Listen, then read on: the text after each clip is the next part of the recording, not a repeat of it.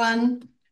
Well, it's enough time for another episode of Astrology Now with astrologer Babula Clement and myself, Sheryl Gottschall.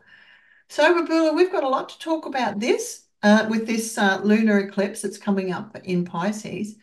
Um, but you know what? I just wanted to start off by saying I'm really coming to understand and appreciate that grand um, cosmic narrative that astrology weaves. You know, like each um, how could you say celestial tale, and, I, am really saying this in relation to I've just like just recently went oh stelliums it's the whole story. It's not just it extends beyond the confines of those individual planetary movements and it sort of weaves this bigger cosmic tapestry. Um, and I was thinking about the the new moon and like two weeks ago we had that new moon in Virgo which you know was about purification, purifying our diets, our living space, etc., our connections, um, and and setting things up in readiness for us. So now that the Pisces moon comes along and and does its thing, and I, I really starting to really appreciate that. Oh, that's absolutely wonderful. It, it is fascinating when you really start delving into astrology, isn't it? And I've seen that over the years, you know, when I've run beginners classes and and and I just have witnessed, you know, people just going, oh my God, this is so much more than I realized because they're starting to see how all of this is actually playing out in real experience, you know, yeah, and yeah. things start to make sense and they, you know, begin to see things from a different angle in a different way. Mm, and there's these long, long term sort of parts of it and these shorter parts of daily stuff and then there's stuff in between and it's just it's just amazing. That's right. And there's all these cycles within cycles you know there's the fast moving cycles and the bigger ones and then the enormous cycles. Like this incredibly complex cosmic clock yeah. you know all ticking away and um interacting. All those different cycles are all interacting with each other and mm. you know mm. over short periods of time over long long long periods of time it's fascinating mm. never gets boring no i don't think i've ever heard an astrologer say they're bored by astrology no. don't see how you could be but you know like hats off to you for teaching us who attend your astrology classes to to lead us up to that point where we come to that understanding you know right yeah it's great mm. Thank you. Mm. oh my, you're very welcome. I i love it. I love teaching astrology. Mm. it's it's very um it's very fulfilling and rewarding you know? It's it's yeah and it's fun. Yeah. To enjoy it. So you're going to kick us off by talking about the the moon. I am. So on September the 18th, which is Wednesday in Australia, on the eastern coast of Australia at, at 12.34 p.m., so just after midday, uh, we have the full moon, which of course occurs every month. But this time, because the sun and the moon, both opposite each other, are also in alignment with the north and south nodes of the moon. Mm it's not a total lunar eclipse because there's a bit of distance between the sun, moon, the nodes, but they're absolutely close enough to form an eclipse. So we won't see it only because for us, the eclipse is happening in the daytime. Mm. Um, but people who live in parts of the world where the eclipse will be occurring at night, um, if you know, we'll be able to go out and watch it if the skies are clear. Um, so eclipses, my favorite description, which I remember reading in a book years and years ago, my favorite description of eclipses, a lunar eclipse is a full moon on steroids and a solar eclipse is a new moon on steroids. So it's it's the the full moon with just a hell of a lot more energy because you know what's happening is that the um, the Earth is passing between the sun and the moon are opposite each other, and the Earth's passing between them, and the light of the sun is blocked out by the Earth. Don't worry about the different sizes; it's all to do with distance from each mm. other. And so there's this because it's a partial lunar eclipse. It, there's this kind of fainter shadow across the moon, so the moon won't be completely blacked out, but it's definitely for those who can see it, you know, a shadow passing across the moon. So I mean, there's so much symbolism in that. You know, the moon is very much about our personal feelings, our our the way we experience life in a very personal and intimate way, our biology, you know, our emotional body, and so on. Um, and so, you know, it has these eclipses have a big impact. And even, you know, the ancients, thousands of years ago, who were watching the skies, they were tracking eclipses and making all kinds of predictions based on eclipses. Like their understanding of how eclipses work was pretty phenomenal. Yeah, I was. And they were. Oh, sorry. Go on. I was going to say, I was reading um, that in ancient astrology, eclipses were seen as portals opening into past lives, and especially lunar eclipses, because it's thought the the veils, if you want to say it that way, yes. were especially thin during this time. So past life memories and lessons and wounds could be more easily accessible. Exactly. It's it's as though it opens. I like that. You know, the veils are thinner and, and something of the unconscious opens up. And so very often things come to the surface that we might have buried or yeah. ignored and things come up and and our emotions and our feelings and this full moon lunar eclipse is in the sign of Pisces mm. conjunct the planet Neptune mm. the planet that rules Pisces so many listening to this will be aware that um, Neptune moved into Pisces in 2011 and has been slowly making its way through its own sign all these years and is now coming to the end. So, so the the full moon eclipse is at 25 degrees of Pisces and Neptune's at 28 degrees. That's very close. So it's like a double dose of that mm. mystical water energy of soul, of feelings, of heightened sensitivity, of emotions coming to the surface, of things coming up, like it could be past life memories, it could be interesting unusual things coming up in our dreams. Mm. Um, conversations with people that bring up things from the past that we may have forgotten about, you know, even from from childhood. Um, it's it's not going to be easy to hold on to that stuff because because not just only is it in Pisces, it's conjunct Neptune. Yes, yeah. You know and the only way to actually be with that is to surrender and go with it and open allow ourselves to open. And if we have time and space available you know to take some quiet time to feel into yeah. what we're experiencing. I always think of um, pisces neptune uh, both of them are um, you know things can be a bit murky with that, you know, it's not terribly clear. It'd be difficult to clarify situations or um, because Pisces really has no boundaries or limits. So sometimes it's hard to map something out or or portray something in the way that it actually is because you can't actually see it clearly yourself, you know? Yes, it, it, that's exactly right. So the opposite sign of Virgo is all about precision and analysis and mm. being specific, but Pisces is the opposite to that.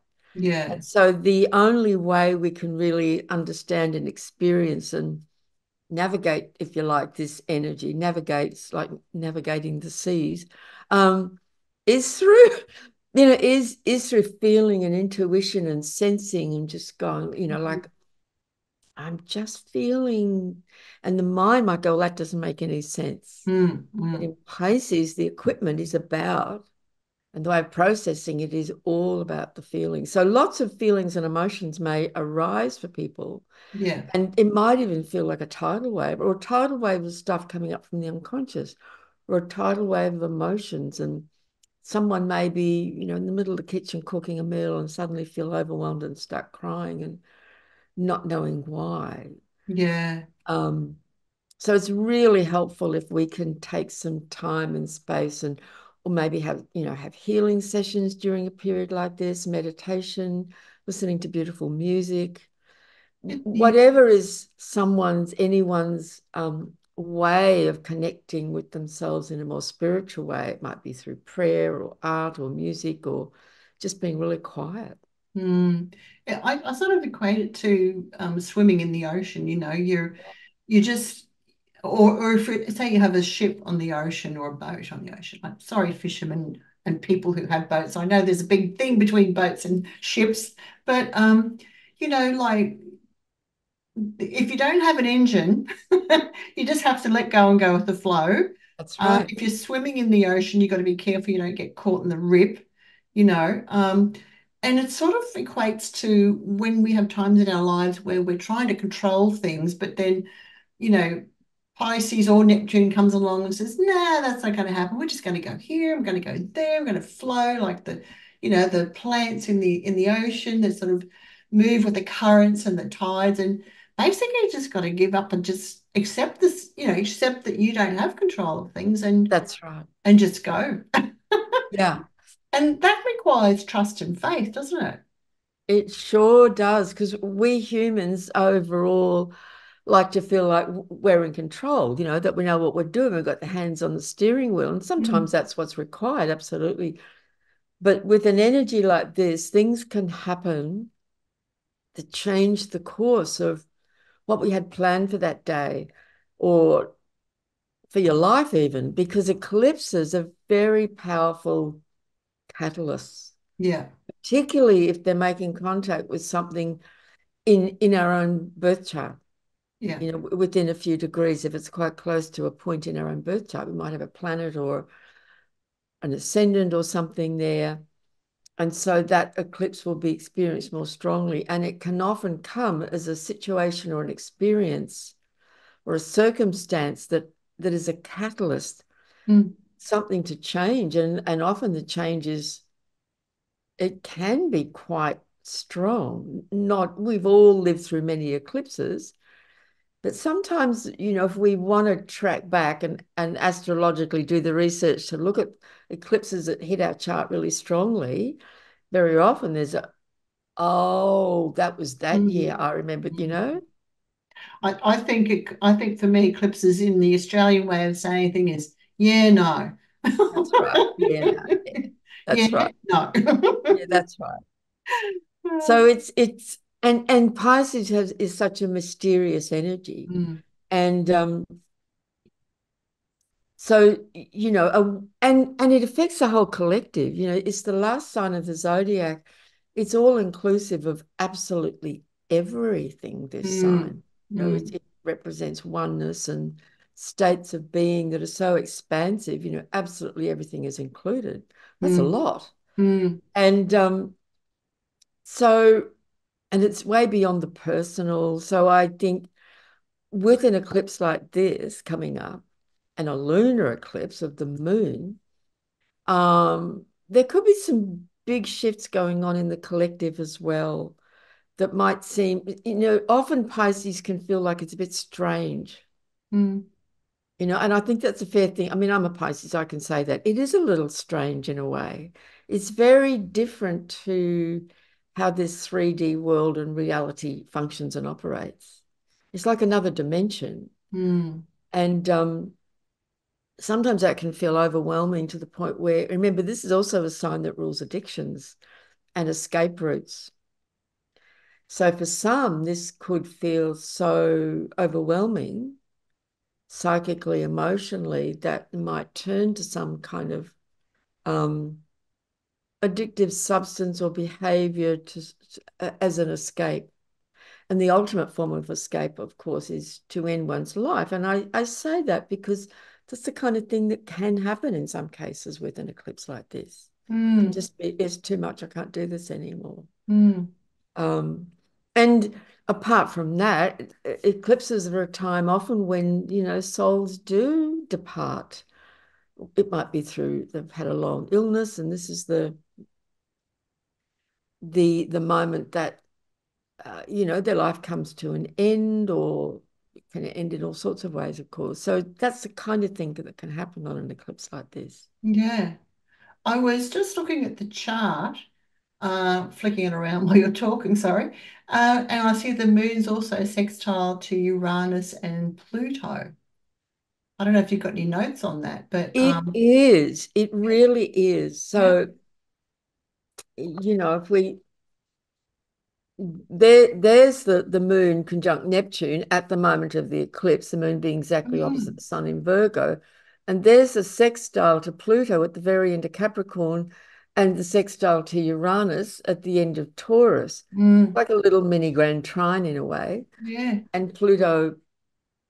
So that, I'm glad you brought that up because that brings in like so much more energy. You know, Pluto, Uranus, and Neptune are all involved in this eclipse, and they are the three big guns, if you like. They're the three outer planets that are all about transformation and Mm, evolution and mm, big cosmic forces of energy over mm. which we really don't have any control. Yeah.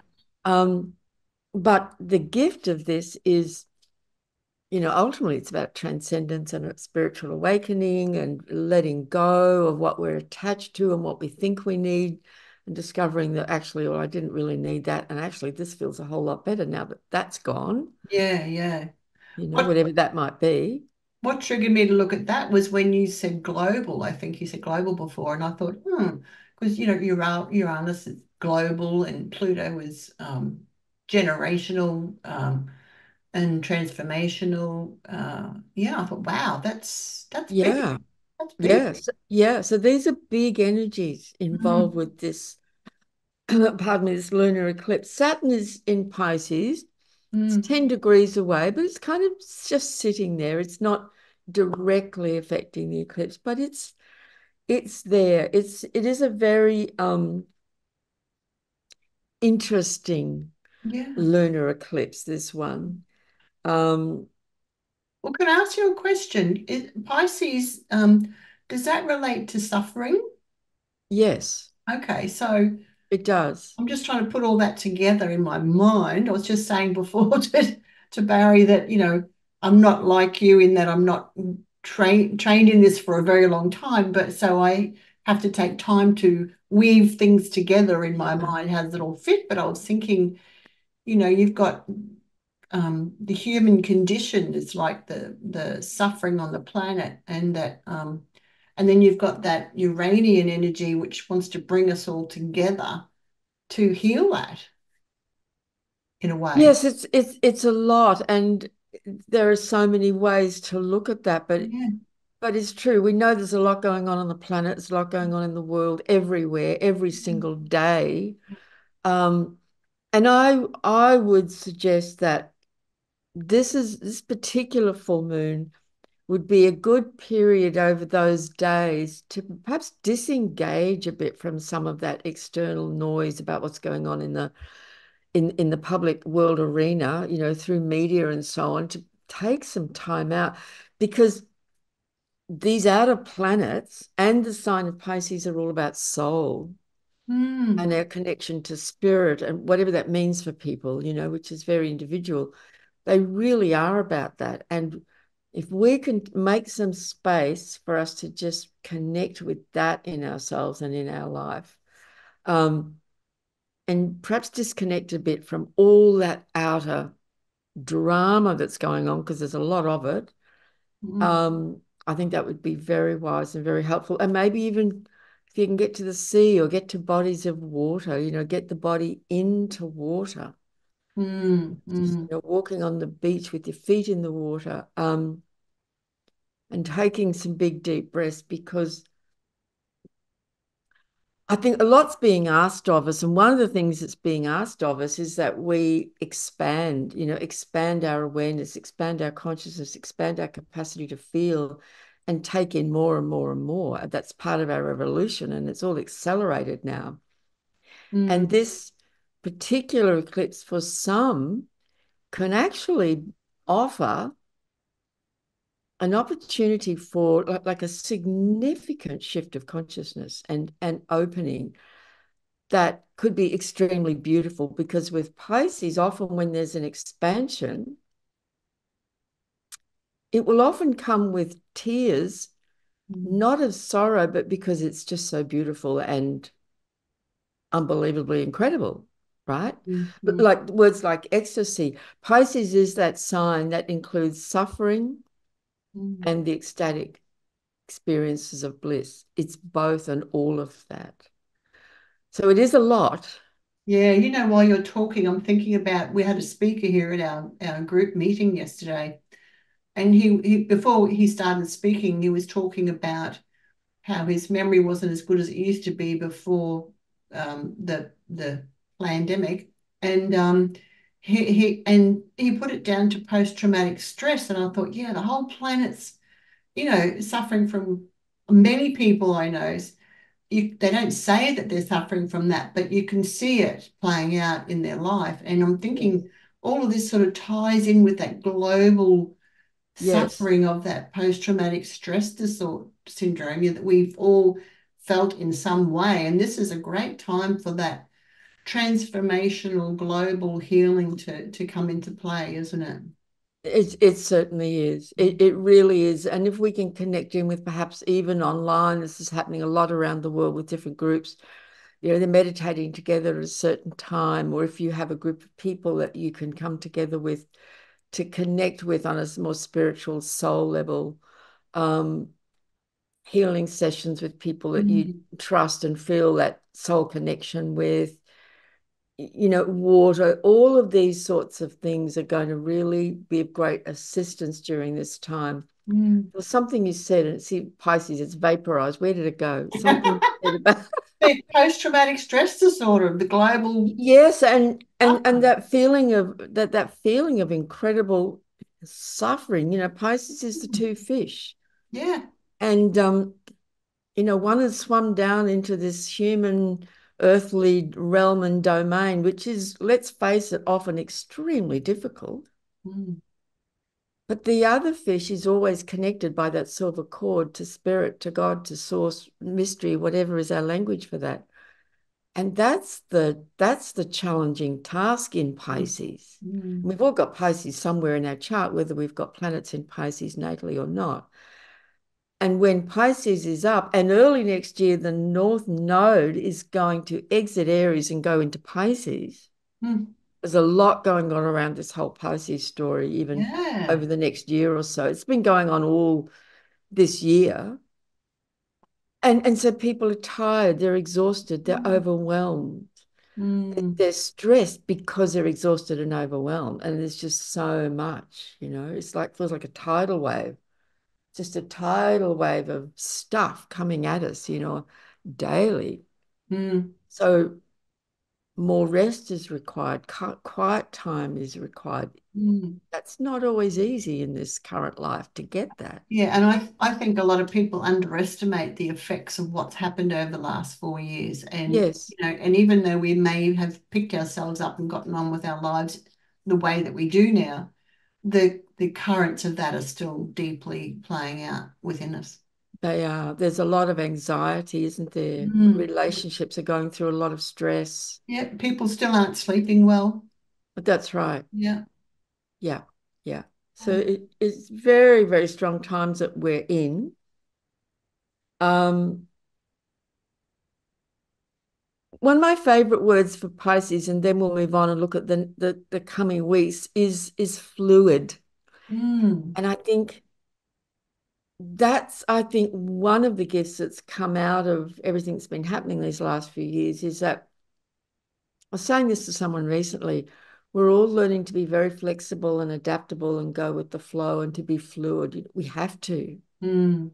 We have to if we're going to maintain a sense of sanity and emotional, physical, spiritual well-being, you know, to really keep loosening our attachment to things and be very fluid and open Mm. because things keep changing so quickly. And I, absolutely, that can be very, very stressful and really stir up a lot of anxiety. But that's that's the key here, as much as we can, you know, find ways to do that. Um, My camera keeps drifting. Excuse me, folks. ah, Pisces, see, it's like it's just it's just It's drifting. fluid. Yeah. And and you mentioned about getting caught in a rip earlier. Yeah. And they recommend that if you get caught in a rip, don't swim against the rip. Let go and let the that current take you because it's more powerful than you, Mm. and it will eventually drop you at shore further down the beach. Mm. Mm. That is what we're talking about. You know, Mm. it's and and that's what you said earlier about letting go requires a great deal of trust and faith because every instinct, if you're caught in a rip, is to swim against it Yeah. And Yeah. get out of it. Mm. But no, the message is let the rip carry you because it will take you back to shore further down. Mm. And all the mystics have said that forever. Mm. You know, it's like going down a river. You know, rather than fighting the current, just let the river take you. And hope to God there's a log across the water you can grab grab hold hold of, or you're going to end up far at sea. That's Oh dear. All right. So, um, so on on the day of the full moon, there is an exact opposition then between Mercury in Virgo, and remember the sun's in Virgo opposite the moon at the eclipse, but Mercury is at 15 of Virgo opposite that Saturn at 15 of Pisces. So Mm. there is this whole kind of polarity of Virgo Pisces going on. Yeah, yeah, yeah. Oh dear.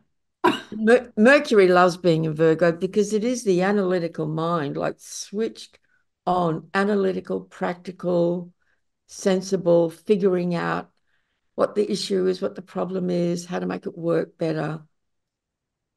That axis, though, it reminds me, I'm just getting this message of, um, you know, the eagle. It's got the eye for detail, but it also is way up here in the heavens, you know? That's right. So at any time, and this is where the fluidity comes in, it's being able to see the details down on planet Earth and get down there and get that field mouse and then get back up there and, and be up there in the in the beautiful heavens and you know Yes. being alone. That's the other thing, isn't it? Yeah. Yes. Mm. Yes. That that's right. Often with this very Neptunian Pisces energy, we feel like we need more space, more personal space, Mm. just time alone. Mm. to help process that feeling of you know overwhelm because it's an energetic thing so often um see normally i'd be saying mercury opposite saturn is a great time for study and analysis and, th and that could still be true for some people Mm. but um with this pisces new moon like that that almost kind of wins out i think that neptune pisces full moon eclipse Yeah. Is is uh, is the main influence so Mm. Then on the 21st, a few days later, the sun will get to. So at the eclipse, the sun's at 25 of Virgo. Mm-hmm. On the 21st, the sun will get to 28 of Virgo and make the exact opposition to Neptune. So there's a, a few days of this sense of swimming in this Mm. tide, you know, in this oceanic, these oceanic waters, Yeah. while the Virgo part of us is still trying to keep things running and keep things operational. Mm. You know, the other thing about the Virgo Pisces axis, it has a lot to do with spirituality, health and healing and illness and medicine. Mm. Mm-hmm. And the Virgo part is is all the, the reality of the day-to-day stuff, and the Pisces part is the surrender and the letting go and understanding that bigger energies are at play here, carrying us through. And at the same time, we deal with the, the details on the stuff. I know. I'm feeling the weight of that on my shoulders already. Yeah. But so we're very much in Virgo Pisces energy with this Mm, mm. story. Um, that sigh is just me just letting go. that's right. Yeah.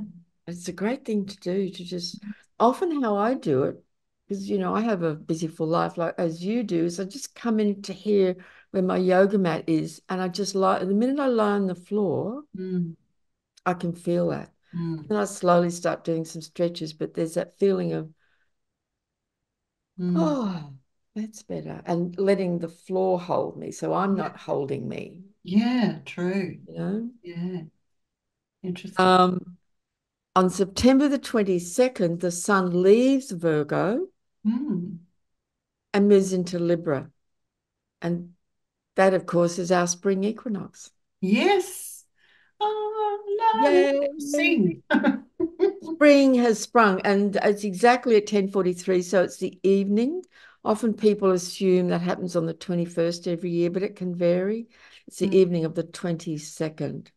Mm. So that's a powerful energetic time as well. You know, those four corners of the year at the two equinoxes and solstices is all to do with the journey of the sun in relation to the earth and where the sun is sitting on the horizon. So you know, the equinox, of course, is day and night are equal, Yeah. equal balance, and it's zero degrees of Libra, the sign of balance and harmony, Harmony, yeah.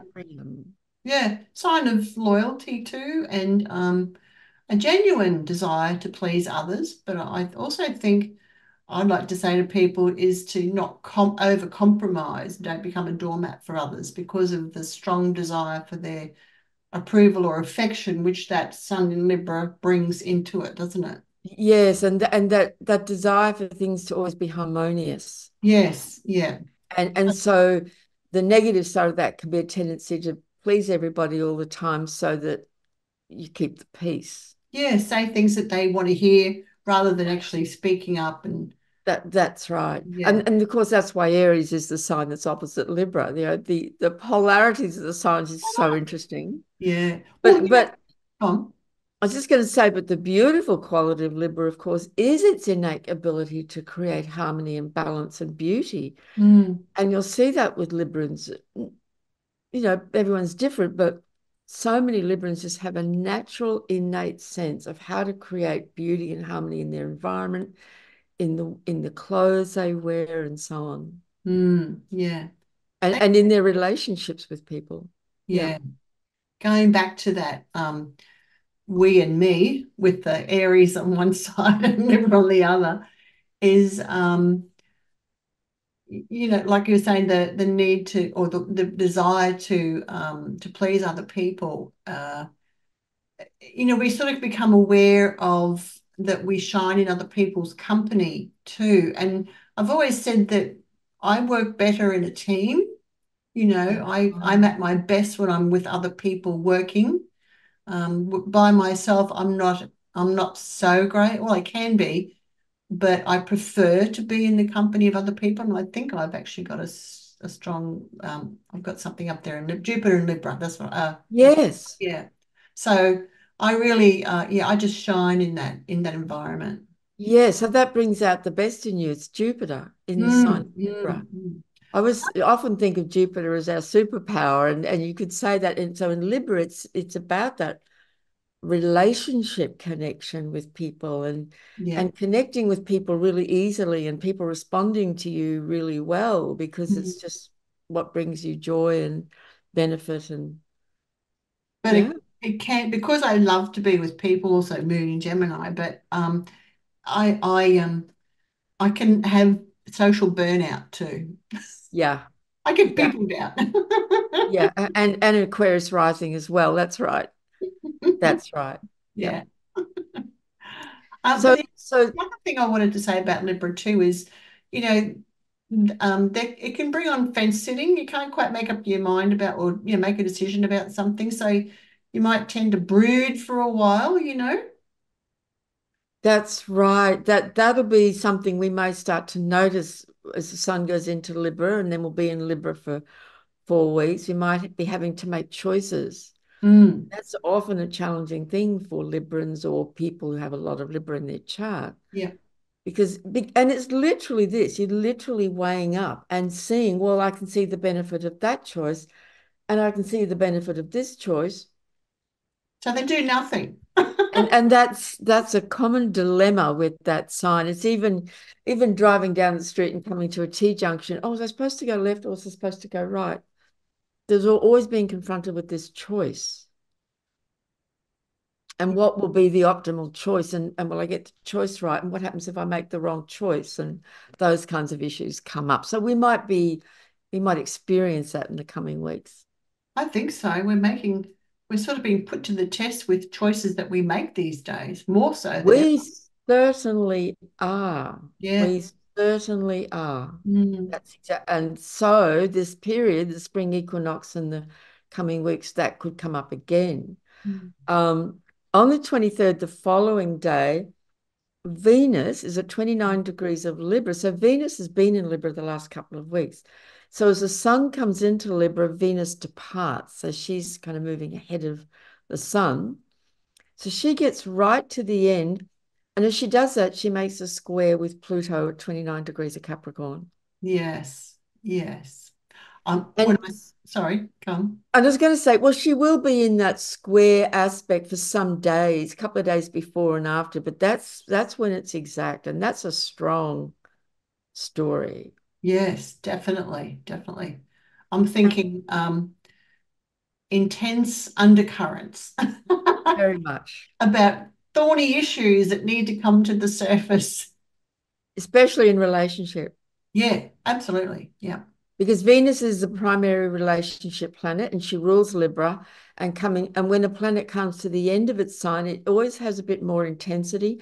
And it's where Pluto, who is the master of intensity. Mm. And so this could be for some people in a relationship situation currently that may not be going well, it's come to a critical point. Mm. This is the kind of transit that can just tip it over the edge and just, you know, we've all had moments in our lives where we said about whatever the situation is, that's it, I'm done, I can't do this one more day. Mm. And that might have been building up for weeks, months, even a couple of years. Mm. And the moment comes, that's one, this is one of those moments. Mm. Yeah. It, not everyone will be in that situation with a relationship, or it could even be a friendship or an association or a co-worker. Um, but it, it can be as very strong, you know, Pluto hitting a, a personal planet by a strong aspect like a square, a hard square. It hits a critical point, a critical moment. Mm. And so a critical choice must be made. And if you're still sitting on the fence, somehow the choice will be made for you. That's that's the power of an aspect like this. I was thinking because of Venus, it could be to do with finances too.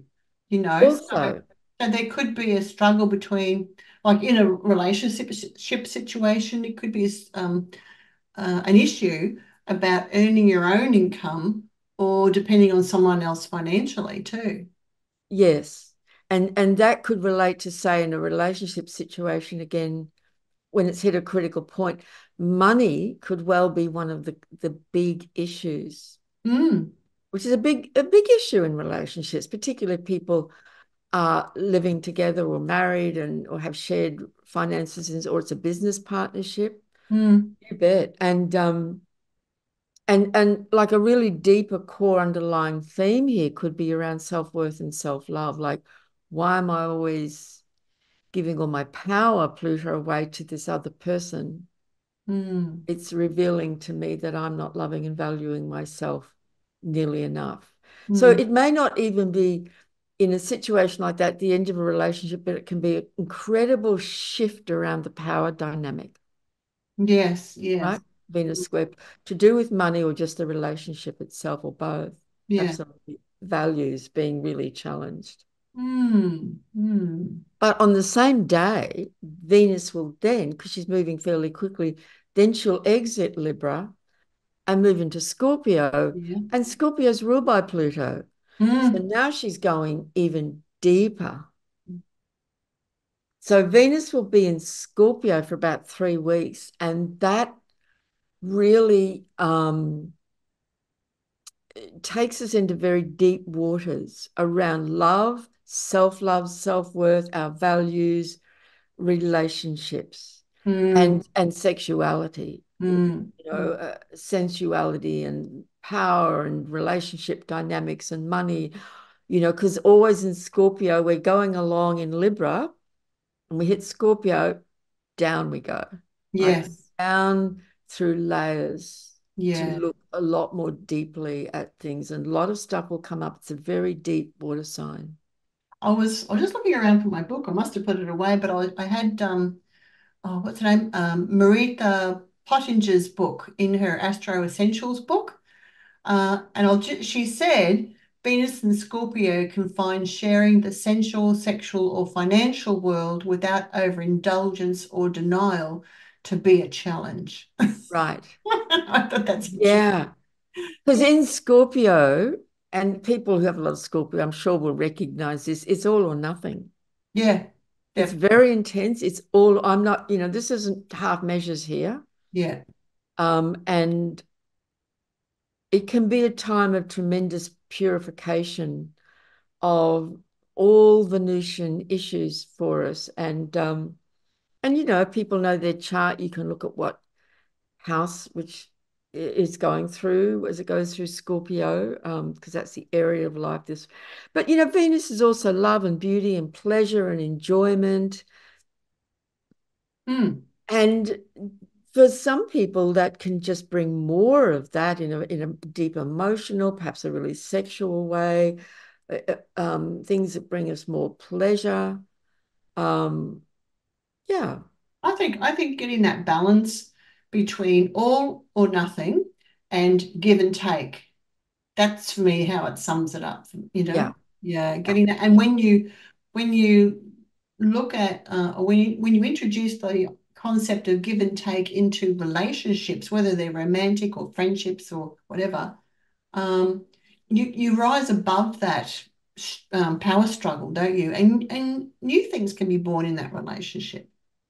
That's right. And but in Scorpio, it's quite challenging to be in that state of give and take and compromise. You know, Yeah. it is very, it's very strong. And um it just depends on people's situation as to, you know, what's what's actually really required here. Because mm-hmm. Scorpio is about purging and cleaning out what's mm. been buried in the dark basement for a long time. And mm-hmm. Venus is a very bright star in our sky, and she, to me, represents the light of the heart, the love light. Mm. So at best, she can shine her, you know, when the heart is open, Scorpio then can open from a very, very deep place. Like the love in Scorpio is so deep and profound. Mm. You know, it's that feeling of I, I, I would die for you kind of Yeah. thing, you Yeah. know? So there's always many layers and many perspectives with all of these things, but it can be quite intense Yeah. emotionally. Well, with that Scorpio there, I mean, on a different note, it, it can involve obsessive feelings too. Absolutely. Mm. Mm. Absolutely. It's sort of the sign that it can be very obsessive. Absolutely. Yeah. And there's a secrecy around it as well. Yeah. Yeah. So, you know, Venus might bring some things up, you know, with, with her light, she may actually bring some things to the surface that haven't been seen before or reveal secrets in a relationship. This because, you know, one of the key issues with Scorpio, it's all about trust. Yeah, that's right. Trust and betrayals of trust. Yeah. Yeah. And in the end, because Venus is really about our own heart and our own capacity to love, how much are we loving and trusting ourselves? And what Mm. our own heart is showing us and calling for, you know? Mm. And that, it, while it's in Scorpio, that can go very deep. So, Mm. very interesting time, be an interesting one to watch and notice, you know, what we're all experiencing. But it is a purification. Yeah. I was just thinking when you said, you know, um, with Scorpio about trust, it's a bit, bit like a shot in the foot, really, because while, you know, there's a reluctant reluctance to trust others, so there's these guards that go up, which actually Yeah. stop us from um, our love and our social needs, which Venus wants to bring in. Yeah. Yeah. Yeah. See, she she rules Libra, you know, the Mm. previous sign. Mm. She's at home there, you know, c- connecting and sharing with everyone. And in Scorpio, all sorts of stuff can come up, all sorts of stuff. Yeah. Yeah.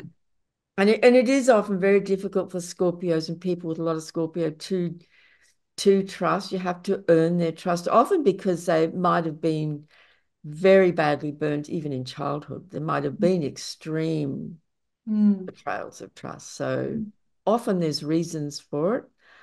Sometimes it's just an, an innate sort of suspiciousness, you know, that comes with the sign. Oh, well, Uh, we'll try not to hold that against them.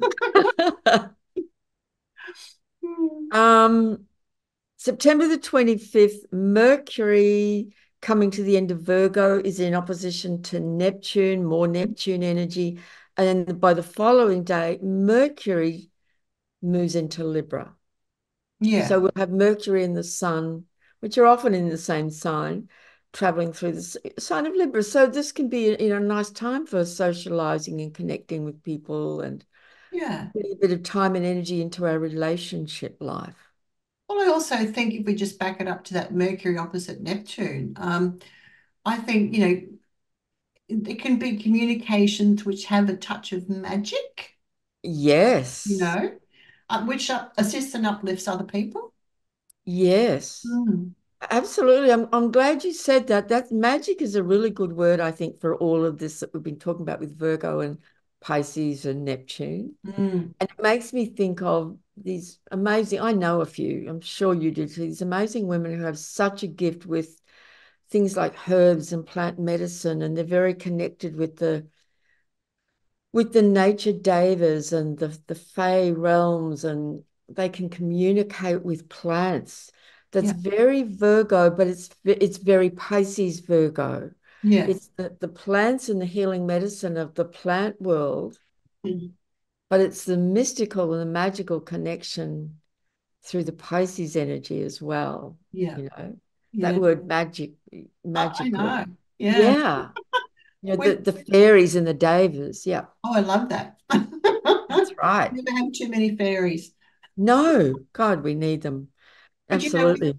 with that murkiness of Neptune and with Mercury in opposition, it's also about um, um, information getting lost too. You know, um, or we can be confused or absent-minded as well. That's right. Or someone gives you a piece of information and it's not correct, either deliberately not correct or they just got it wrong, you yeah, know? yeah. Mis fiction. yeah, miscommunication. Yeah. Yeah, yeah, definitely. I mean, you'll you'll see in in birth charts around health, you know, medical astrology, astrology speaking, um, often Neptune Pisces, when that's connected to health in a birth chart, it can often represent misdiagnoses and things like that. You know, Mm. like they just got it wrong and you got given the wrong medication, Yeah. right? That that kind of thing can happen. Mm. Um, then on the 30th, the sun makes a conjunction. So the sun and Mercury make a, an exact conjunction. I haven't got the exact degree of that, but it will be in um, the early degrees of Libra. Mm. Um,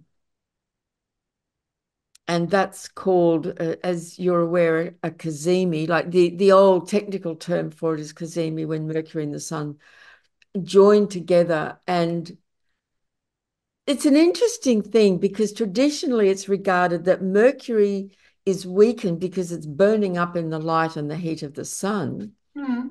And yet I have found with people with close Mercury Sun conjunctions, they're often very powerful communicators, Yeah.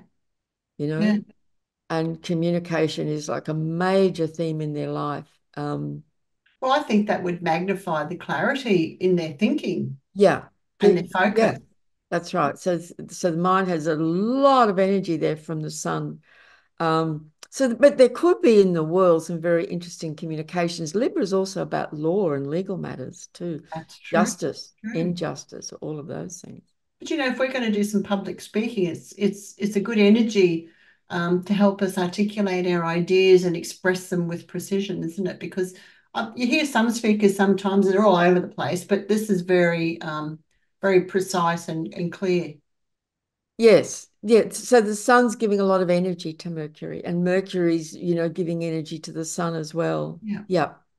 Mm. Um, and then that leads us into early October. On October the 3rd, Mm.